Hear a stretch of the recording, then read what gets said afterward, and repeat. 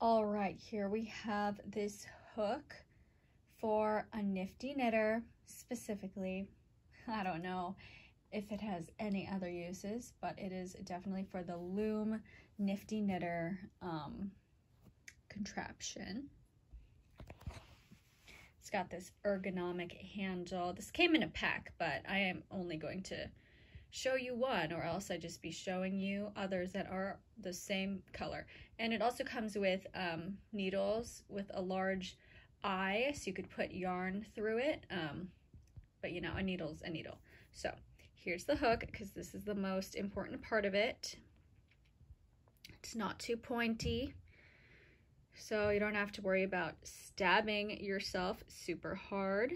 And then you just dig it in under the yarn. There's like little divots on the Nifty Knitter for it. And then loop it over. Essential product